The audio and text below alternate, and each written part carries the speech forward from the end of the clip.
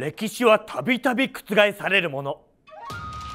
勝者によって真実が捏造されたり後世の創作だったりしたことが新たな歴史研究によって白日のもとへさらされるのじゃ。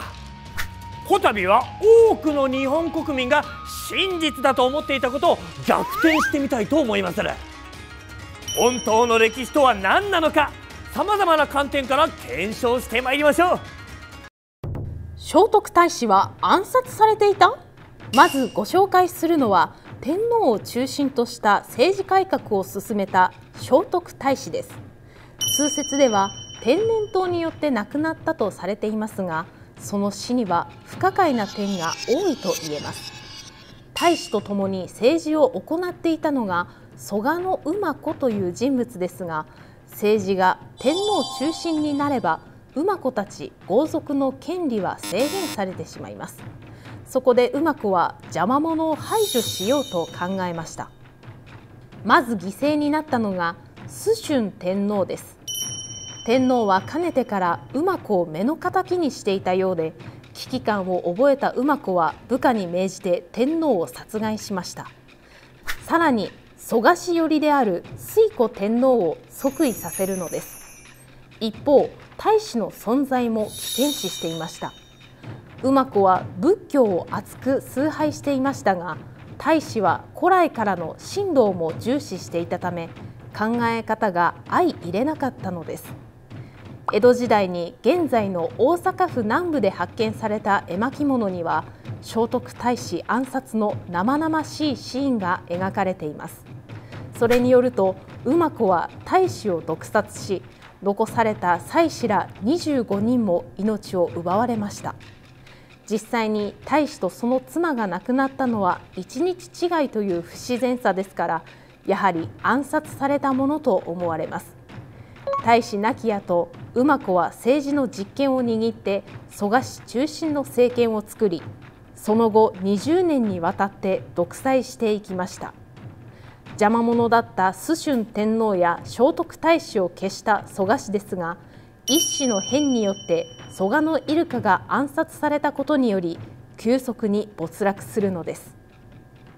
古代にもドロドロとした政治闘争がござったわけですな。しかも崇春天皇は126代続く天皇の中で暗殺で命を落とした唯一の天皇でございました。律令制の基礎を作りいち早く優れた大陸文化を取り入れた聖徳太子もそんな清掃の犠牲となった一人だったわけじゃ。これも大きな歴史の闇ではござらんじゃろうか。信長の比叡山焼き討ちは真っ赤な嘘だった？比叡山延暦寺が織田信長によって焼き討ちされたのは元亀2年1571年のこと。延暦寺の建物はことごとく焼き払われ女子供まで命を奪われました。その数3000人に上ったとも。これを伝え聞いた山科時次は仏法破滅と日記に記し朝廷の女官たちも本当に気の毒で筆に尽くしがたいと書いています。ところが不思議なことに焼き討ちされたという証拠がほとんどないのです。実は大講堂の改築工事やドライブウェイの建設工事に伴い現地の発掘調査が行われました。すると根本中道と大講堂では焦土層が確認できるもののこれは焼き討ち以前に起こったものが大半だったと結論付けられました。すなわち信長による比叡山焼き討ちは事実ではなかったことを意味します。実はこの時期寺院としての延暦寺は衰退期にあって多くの僧は麓の坂本や片田で暮らしていました。また権益を独占したことで経済的に豊かとなり山にいなくても裕福な生活を送っていたのです。信長としても抜け殻になった比叡山へ火を放つ理由がありません。おそらく根本中道など中心的な建物に火を放つ程度だったのでしょう。単に寺の一部を焼くことで信長は近隣に部位を示そうとしたわけですね。まだ信長は上洛してから3年しか経っていませんしある程度は世間体も気にしていたはず。前山焼き討ちなど得策ではなかったことでしょう。また焼き討ちを記録しているのは京都の公家や女官たちです。もちろん自分の目で確かめたわけではありませんからおそらく大げさに日記へ記したのでしょう。この比叡山焼き討ちによって信長様の暴虐ぶりが明らかになったとされておりまするが蓋を開けてみれば信長様も普通の人間だったちゅうことになりますな。織田包囲網が出来上がりつつあった時期でございますから信長さんも反発を招く真似はしたくなかったはず。とにかく延暦寺を懲らしめてやったっちゅう既成事実だけが欲しかったんじゃろうな。卑弥呼が君臨した国は邪馬台国という名ではなかった？女王卑弥呼が統治した国邪馬台国。現在でも実在説を含めて何かと話題の多い国ですよね。さて卑弥呼や邪馬台国の名称が登場する唯一の記録といえば中国で書かれた義士和人伝です。当時大陸では倭国の人々を蛮族と蔑みあえて動物の文字や邪悪な文字を使うのが通例でした。例えば卑弥呼ですと卑しいという意味に通じますし邪馬台国にしても横島な馬となります。東の蛮族など汚らわしいという上から目線だったわけですね。ところが大国って一体何ということに気づくでしょう。実は和人伝に書かれているのは本来山一国という国名でした。ところが他の歴史書では山大国と記すものが現れます。どっちが正しいのかそんな議論が江戸時代になって広がりました。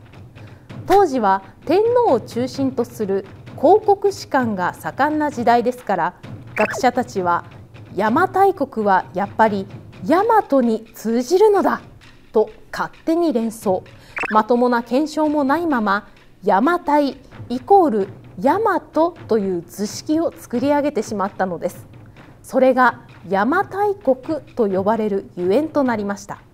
しかし「台」という字は中国の王朝またはそれに準ずる王宮にしか使われない思考の文字ですから「ひ」や「じゃ」といった野蛮な言葉で呼ばれる国相手に用いられるわけもありません確かに議論が分かれるところですが歴史研究が進んでいくことで実は山一国という国名だったなんて結論が出るかもしれませんね。火の元に紙もペンもござらん時代でござるからもちろん記録など残っておるはずはござりませぬしかし九州説か機内説かといった議論も含めて古代ロマンに思いを馳せるのも夢があってですよな。実はアマテラスのモデルは卑弥呼だったなんて説もござるそうです。また機会があれば検証してみたいと思いまする。アン君徳川綱吉は作られたイメージだった？生類憐れみの例を出して人間より犬を大事にし人々から恨みを買ったという将軍徳川綱吉ですが果たして通説にあるような暗君だったのでしょうか。実は生類憐れみの例という法令は世界初の動物愛護法とされるもの。社会不安ですさんだ民衆の心を和らげる狙いがあったとされています。また動物を大事にすると同時に貧しい人々や捨て子といった社会的弱者の救済に取り組んだとも。野良犬を収容して隔離するのは疫病予防につながりますからいわば一石二鳥だったわけですね。そう考えると綱吉は名君と呼んでもいいはずですが死後その名を貶めた人物がいます。それが綱吉の次に将軍となった徳川家信でした。2人はもともと将軍候補としてライバル関係にあったのですがようやく将軍になれた家信は亡き綱吉の政治を悪政だと糾弾しました。もちろん自分の政治を正当化するためです。こうして綱吉にアン君のレッテルが貼られてしまったということですね。最近では徳川綱吉様に対する歴史研究も進んでおるようで史上最高の愛犬家。動物保護活動に取り組んだ将軍として評価はうなぎ登りだそうじゃ。綱吉様は儒学を重視したこともあり日本人が最も大事にすべきことは弱い者を助けるという道徳観だと考えられたのでしょう。こたびはこれらを紹介してまいりましたがこれからも皆様が真実だと思っておる通説がひっくり返るものが出てまいるやもしれませんこれからも我らは研究を怠りませんので続報をお楽しみに。最後にこの動画が面白かったら良いねと援軍チャンネル登録もお忘れなく。